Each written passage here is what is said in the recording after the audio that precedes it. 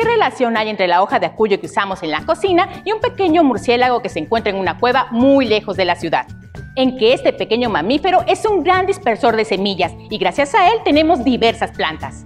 Los murciélagos cumplen una función primordial en el ecosistema y tienen una vida social y emocional compleja que es objeto de observación de investigadores. Solemos pensar que todos los murciélagos son vampiros, es decir, que se alimentan de sangre, pero hay nectarívoros que se alimentan del néctar de las flores nocturnas o los insectívoros que prestan un gran servicio en los cultivos, pues se comen insectos que pueden convertirse en plagas. El murciélago ayuda a la polinización o como dispersor de semillas, lo que significa la disponibilidad de plantas y frutos tanto para nuestro consumo humano como para muchas otras especies.